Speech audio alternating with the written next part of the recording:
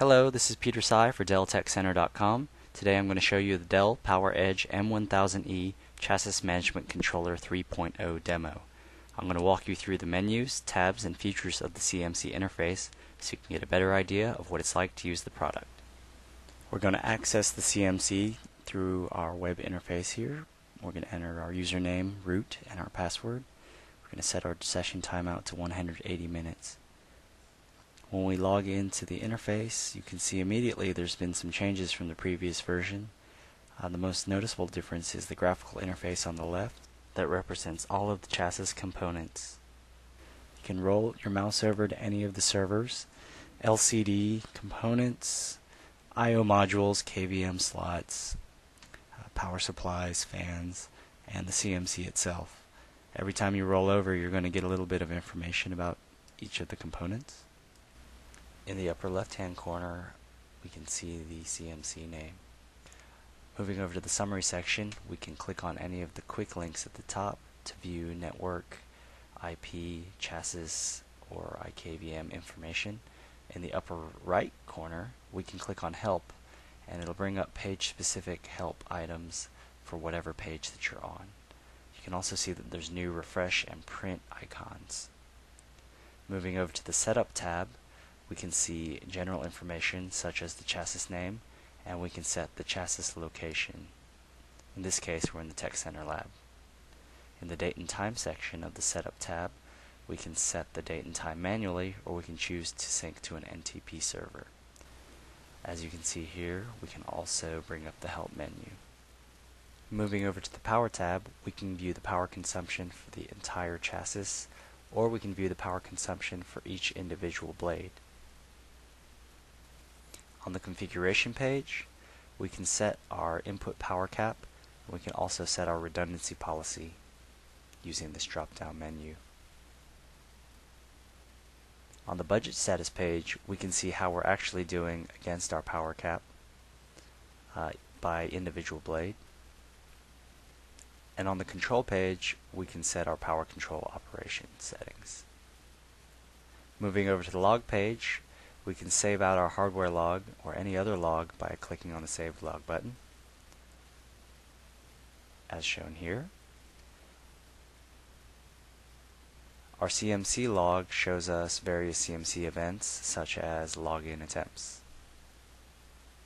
Moving over to the Network tab, we can see the various settings uh, for IPv4 or IPv6. On the VLAN tab, we can set various network priority settings for each individual blade inside of the chassis. Here we have all priorities set equally so that no blade gets priority. On the SSL menu, we have various certificate settings. And in the Sessions menu, we can see what users are signed in currently, and we can terminate those sessions if we want to. On the Services page, we can manage various aspects of how the users connect to the CMC, whether that be through Telnet, RACADM, or through the web interface. User authentication gets its own tab in this version of CMC. Previously, this was under the networking tab. We can view various users and we can grant or deny various privileges simply by checking boxes and then clicking on apply. Currently we're looking at root.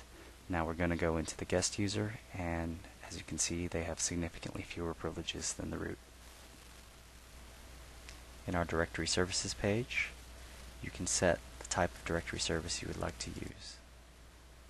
Moving on to the Alerts tab, you can set the events that you would like to be alerted on. You can also set your trap settings and the destination that you would like to send those events to. You can also be alerted via email. Here we can set the SMTP server we'd like to use and the email address we'd like to send those alerts to. On the troubleshooting tab, we can blink and unblink any of the servers inside of the system simply by ticking these boxes and clicking blink or unblink. On the diagnostics page, we can run command line commands. Here, I'm going to type in ifconfig and click on submit, and then we're going to get a result returned to us. We can also reset any of the components inside of the chassis this is a virtual reseat and it's quite handy if we don't want to actually go into the data center and physically reseat those components. Moving on to the Update tab, we can update our CMC firmware, input-output module firmware, IKVM or iDRAC 6 firmware by ticking the box and clicking on Apply Update. Next we're going to look at the chassis controller section over on the left. As you can see we have similar information that we've seen under the chassis overview. We have the troubleshooting tab where we can again unblink and blink the lights. And we also have an update tab where we can update the firmware for the various components inside of the chassis. We also have the help menu available to us as we do on every other page. Moving over to the server overview on the left side here, we can view all of the blades inside of the chassis in a single glance here, and we can also launch the iDRAC GUI for each individual blade, or we can launch the remote console for those blade systems having the iDRAC 6 or higher. On the WWN slash MAC page, we can view the MAC addresses for all of the components inside of each individual server. and It's broken down for us here by slot.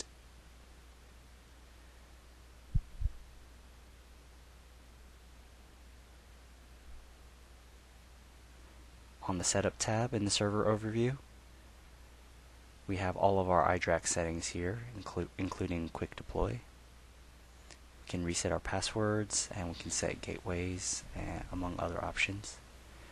We can also access the VLAN settings page here as we did earlier. On the next page we can specify which system we want to be the first boot device in the chassis. And on the slot names page we can rename each of the individual slots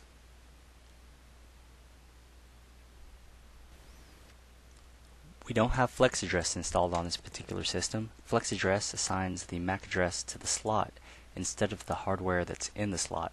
This is useful when we want to perform an upgrade or a replacement so that when we insert the new blade into the slot we don't have to update settings. The next page is remote file share. We can specify a remote file share path and username and password to access that. On the Power tab, you can see the various power options and priority settings. And on the priority page, we can actually set the priority similar to the way that we did for the VLAN. Here you can see we can assign a priority of 1 through 9. On the Troubleshooting tab, we can blink and unblink the servers as you've seen previously on a couple of other pages. And again on the Update tab, you can update the firmware for the various components. Here I'm rolling over to the left side. I'm rolling over each system.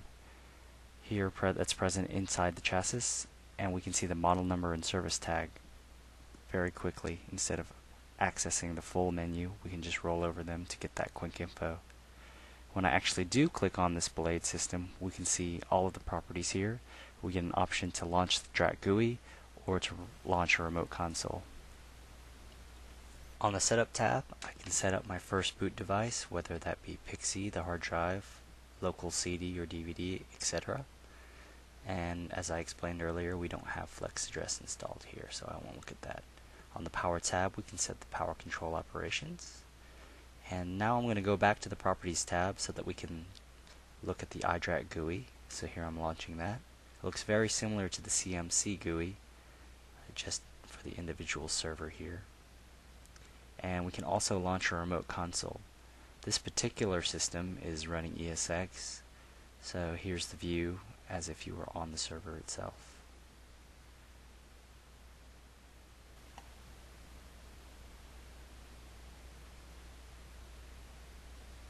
Now we're going to look at the I.O. module overview where we can see each of the I.O. slots on the back of the chassis here.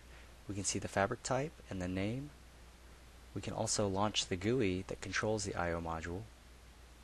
On the Setup tab, we can assign IP addresses to each of the I.O. modules. On the Power tab, we can perform operations on each of the I.O. modules. And on the Troubleshooting tab, we can blink and unblink lights as we've been able to previously. On the Update tab, we can update the firmware of each of the I.O. modules, just like we did previously on, on other pages as well. I'm going to click through here to the Gigabit Ethernet I.O. module. We can see the status, the health, various information. we can set IP addresses and then we can do the power operations again.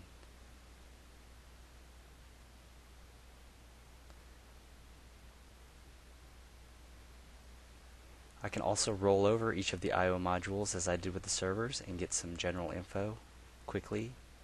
And I can also click through again to set up and change the IP addresses or perform power operations. Moving on to temperature sensors, we can see the ambient temperature and the threshold maximum of all of the servers that we have in the chassis here. I'm going to return to the chassis overview to get a better view of the fans, the IKVM, and the power supplies. Here I'm rolling over fan slot number 2. I can see that health is okay, and I can see the speed in RPM. If I click on fan status, I can see at a glance the status of all of the fans inside of the chassis. Here we can see they're all healthy. Going back to the chassis overview, I'm going to go back and roll over over the IKVM here.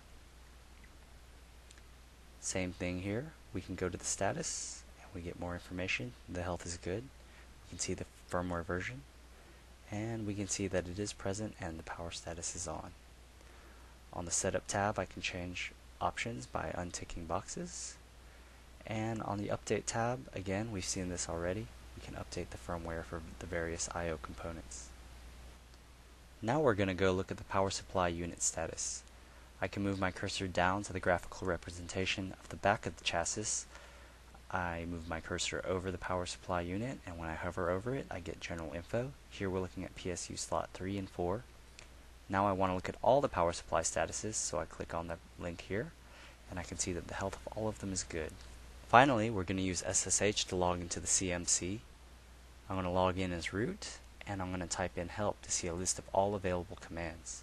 First we're going to run a get chassis name command to see that the name here matches the name in the upper left corner, R6M1000E. Then we're going to run get IO info. We can see our IO modules here and we can go over to the left and see that both of them match up.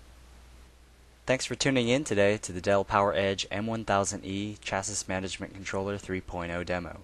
To learn more about Dell technology, come join the community at www.delltechcenter.com.